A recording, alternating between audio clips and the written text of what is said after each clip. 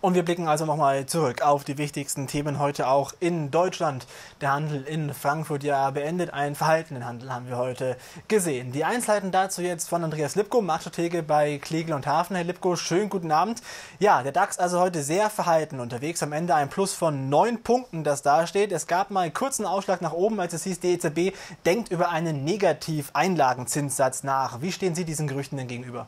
Ja, äh, guten Tag. Also ich denke schon genau, dass genau diese Nachricht dann zumindest auf den Nachmittag da eingesorgt hatte, dass eben ein bisschen Schwung in den Handel gekommen ist und so gesehen die Konsolidierungsansätze, die wir ja immer wieder mal gesehen haben, hiermit dann unterbrochen worden sind. Interessant war aber auch genau die Reaktion, dass es eben nicht zum nachhaltigen Kursanstieg gekommen ist, sondern dass sie auch recht schnell die Gewinne wieder mitgenommen worden sind. Ein sicherlich interessantes Gerücht, was äh, doch relativ unerwartet für mich insofern ist, als dass ich nicht gedacht hätte, dass die Notenbankpolitik von, von der EZB in diese Richtung weitergehen würde. Von daher betrachte ich das auch erstmal sehr, sehr vorsichtig und warte auf weitere Statements von Seiten der EZB. Und heute haben wir auf Statements geachtet von ThyssenKrupp. Da ging es um die Verkäufe der Stahlwerke. Aber eben nicht das große Problem Stahlwerk in Brasilien, sondern es ging um einen Verkauf des Stahlwerks in Alabama. Das, äh, deswegen wurden auch die Zahlen verschoben, weil man hier sich noch in ja, exklusiven Verhandlungen befindet. Die Aktie wird weiter geprügelt. Jetzt ja alles andere als leicht zuletzt die Aktie von ThyssenKrupp. Was sagen Sie zu der Aktie? Ja, ThyssenKrupp hat natürlich das Sorgenkind, äh, das ganze amerikanische Stahlgeschäft nicht wirklich gut handeln können. Hier gab es ja doch etliche Abschreibungen in Milliardenhöhe in den letzten Quartalen. Man hat versucht, dieses als Paket zu verkaufen, was nicht gelungen ist. Jetzt versucht man so gesehen, dieses Sorgenpaket ein bisschen zu entzerren und hier einzelne Geschäfte zu ermöglichen, weil eben doch das ganze Komplex so nicht verkauft werden kann. Daher auch die ähm, leichte Enttäuschung bei den Anlegern, weil man hier doch gedacht hat, dass man sich diesem Problem relativ schnell entledigen kann und dass es dann relativ schnell auch von der Agenda verschwinden wird. Jetzt kamen die ersten Statements raus, dass dieses Problem wahrscheinlich noch mindestens zwei Jahre in den Büchern von ThyssenKrupp erhalten bleiben wird. Hier Gewinne vorerst zumindest aus der Sparte nicht in Sicht. Also die Aktie ist sicherlich dann nicht mehr des Börsianers Liebling in den nächsten Monaten. Ein Börsianer Liebling war zuletzt aber die Deutsche Post, sieht man an dem Chart, der schön von links unten nach rechts oben ja verläuft, wenn man sich anschaut in den letzten Monaten. Man hat heute gesagt, das Weihnachtsgeschäft, das wird sehr gut laufen. Wir müssen noch ein paar Leute mehr einstellen. Über eine Milliarde Pakete möchte man ausliefern im Jahr 2013. Da braucht man eine Menge Postboten für. Wird es so positiv weiterlaufen für die Deutsche Post? Na, sicherlich kann hier der Vorstand der Deutschen Post einen direkten Gruß an Amazon, Zalando und Co. senden und das wird er auch tun. Online-Geschäft blüht natürlich und hier profitiert die Deutsche Post World nicht ganz klar davon. Sie haben schon recht gehabt, die Aktie alleine innerhalb des letzten Jahres um plus 67 Prozent. Wer so einen konservativen Wert kann sich das durchaus sehen lassen. Ich denke, dass dieser Trend weiterhin anhalten wird, ob nur die Aktie auch in dieser Richtung und vor allen Dingen in dieser Geschwindigkeit weiter steigen wird im nächsten Jahr. Das würde ich jetzt mal ganz stark bezweifeln. Auf jeden Fall sind die Weichen jetzt in Richtung grüner Kursvorzeichen weiterhin gesetzt. Das Geschäft wird also nachhaltig gut laufen können, weil der Trend eben dahin geht. Die Gewinndynamik wird ein bisschen rausnehmen, was die Kursgewinne angeht, aber auf jeden Fall wird die Deutsche Post in den nächsten Quartalen weiterhin gute Gewinne machen.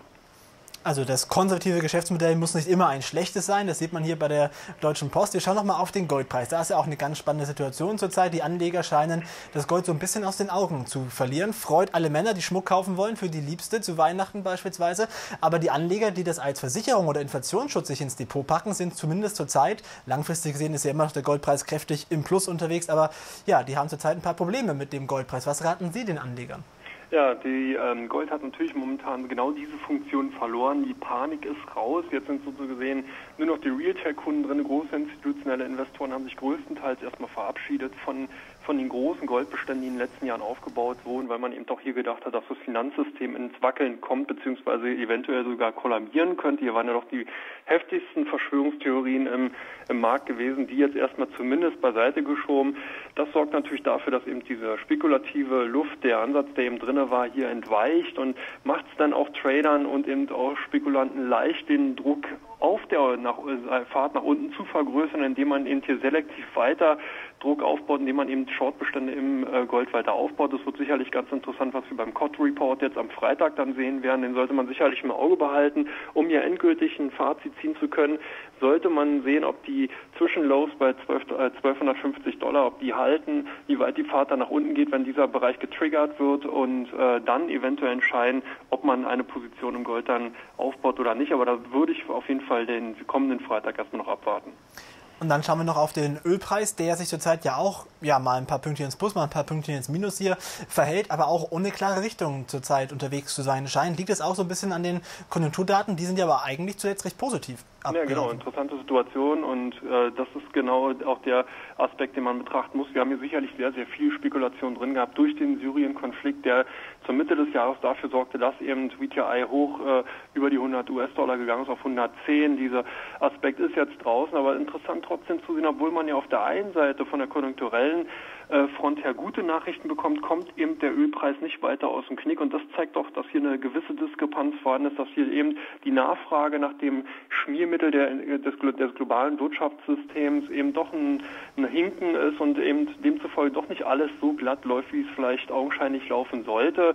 Sicherlich zu, äh, auf jeden Fall weiterhin zu betrachten und auch äh, zu beobachten, wie sich der Ölpreis entwickelt. Ich könnte mir vorstellen, dass wir auf dem Niveau erstmal verharren werden und dann im Laufe des nächsten Jahres wieder jenseits der 100 US-Dollar Marke zurücklaufen werden. Also es bleibt auf jeden Fall spannend, auch bei den Rohstoffen. Dankeschön, Andreas Lipko, Marktexperte bei Kliegel, und Hafner. Schönen Abend Ihnen. Wünsche Ihnen auch. Vielen Dank.